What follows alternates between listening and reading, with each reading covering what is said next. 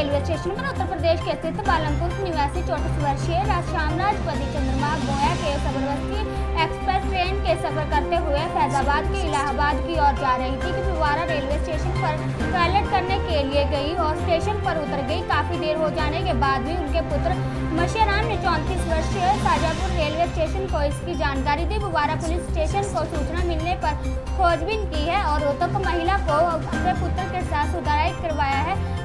जा रहा है कि महिला उत्सुक अपना नाम पता ठीक से नहीं बता पाने के कारण पुलिस को ढूँढने में काफ़ी परेशानी का सामना करना पड़ा है। साराम नाम है। माता जी का शिव शिव श्याम राज़ी। कहाँ से आ रहे थे आप? और मैं अयोध्या से अहमदाबाद के लिए जा रहा था।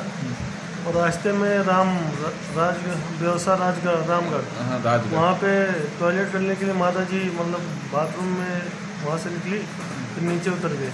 मैं शाहजहाँपुर जाके फिर वहाँ से फिर रिटर्न आया लेने के लिए। वहाँ टीटी लोग को बताया कि मतलब मेरी माता जी सब नीचे उतर गई माता जी मिल गई ना आपको?